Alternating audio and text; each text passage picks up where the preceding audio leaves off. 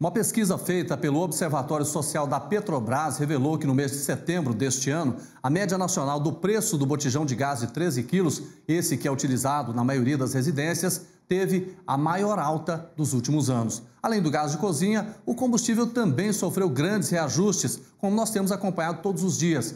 A Tiara Castilho chega agora com mais detalhes desses constantes aumentos e vai contar para a gente. Boa noite, Tiara.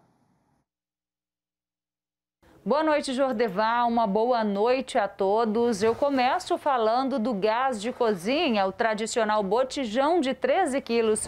Com as altas, inclusive a do mês de setembro, foi o maior valor já pago nos últimos 20 anos.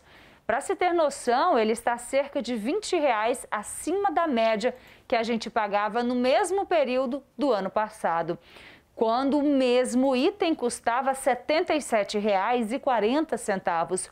Hoje a gente compra o mesmo produto por mais ou menos 100 reais ou até mais que isso, né? Em valores já corrigidos. Uma pesquisa feita pelo Observatório Social da Petrobras que utilizou dados da Agência Nacional do Petróleo e do Instituto Brasileiro de Geografia e Estatística, revelou também a mudança no preço dos combustíveis.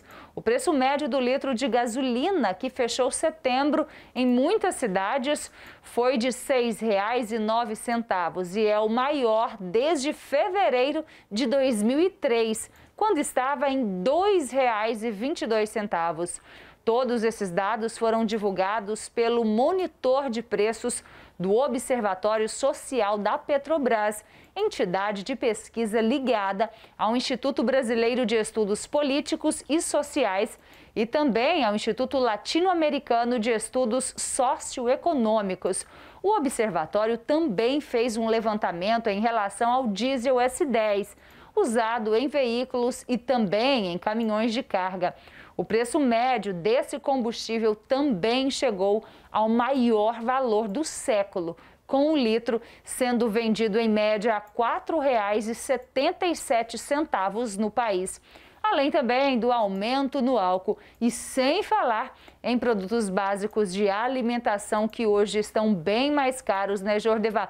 Situação complicada essa nós dos brasileiros. É com você.